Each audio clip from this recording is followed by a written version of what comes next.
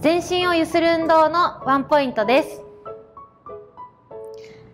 この運動では全身をゆすってほぐし体操を行う準備を整えます。1番目の体操ですのでこのように頑張って飛ぶのではなく膝と足首を柔らかく使って軽くゆすっていきましょう。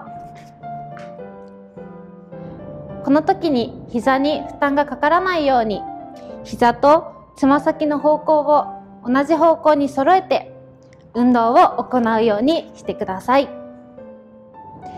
膝や足首に不安がある方はこのように肩をゆするだけでも構いません。余分な力を抜いて体操を始める準備を整えましょう。ラジオ体操第一のワンポイント動画もアップしています。ぜひそちらもご覧ください。